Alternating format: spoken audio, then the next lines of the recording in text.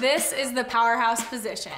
We'll have the CLX with the center loops around each of your thighs, making sure it's above the knees.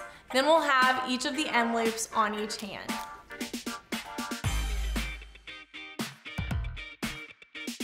Let's begin with the CLX forward lunge. We're gonna start with our feet shoulder width apart and both of our hands extended up.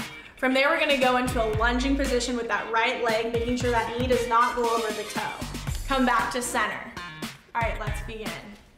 Gonna go out and come back to center.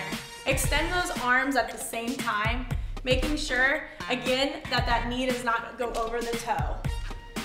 So our knees are at 90 degrees, and we're keeping up. Stay up with me.